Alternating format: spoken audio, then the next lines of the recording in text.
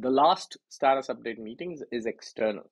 Now, in an external, I would recommend that you get your key team members as well because there might be a lot of questions and sometimes they become too technical. So you get the certain group of people who understand things. And in external, mostly it's with the client, your customer.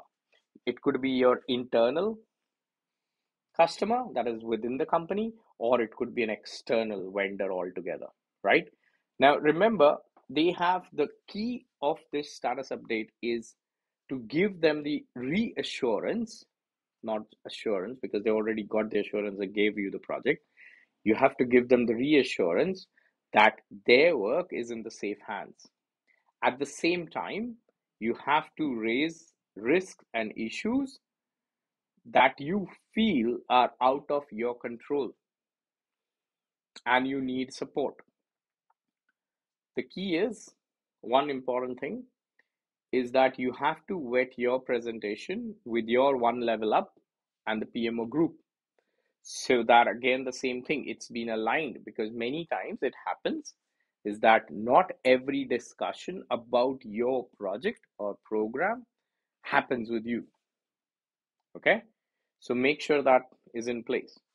Same thing, there would be a template, most likely, follow it through, status update, give them the status update, raise risks and issues, understand what are the risks and issues that can be handled internally within the organization, and it's not impacting the schedule and the cost.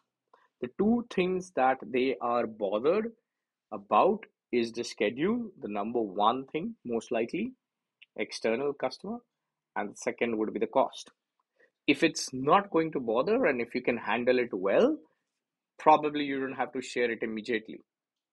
Okay? But if it's persistent then yes.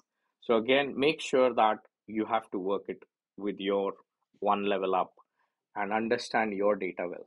Okay? And the last